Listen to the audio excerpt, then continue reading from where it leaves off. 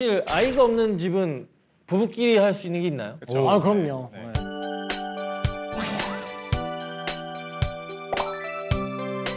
처음에 플랭크 자세를 잡아주세요. 몸이랑 이제 오. 엉덩이랑 등 전체가 일자로 만들어주시는 어? 상태에서 이제 플랭크를 해도 되고 그냥 얼굴을 쓰다듬어도 돼요. 네, 이렇게. 네, 네, 부부끼리. 네, 부부끼리. 부부끼리. 네, 부부끼리. 부부끼리. 지금 한번 해보시죠. 지금 같이 보시는 분들도.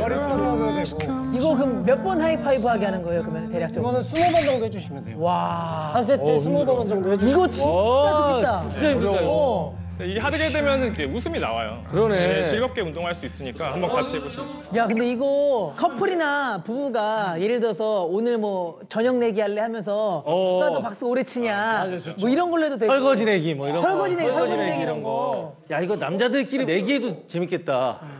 어 이거 끝까지 할 것 같은데? 앉으려고 어, 앉으려고 앉으려고. 아니 나 플랭크 잘해. 네, 엉덩이 조금만 내자. 네, 올라오시면 안 돼요. 일자로 아, 그렇죠. 내려요? 네, 일자로 등 일자로 만들어주시고. 주시고. 엉덩이 당연히 내려야지 내려요 저런데 쟤는 자, 그 자세에서 이제 하이파이브 갈게요. 하이파이브. 자 오른손부터. 그렇죠. 엉덩이 올라가시면 안 돼요. 그렇죠. 코어 잡고 그렇죠. 엉덩이 올라가시면 안 돼요. 그렇죠. 코어 잡고 그렇죠. 에이 에이 에이 에이.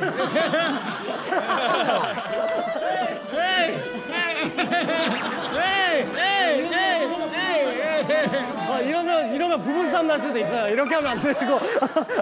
얘 진짜 운동 진짜 못해.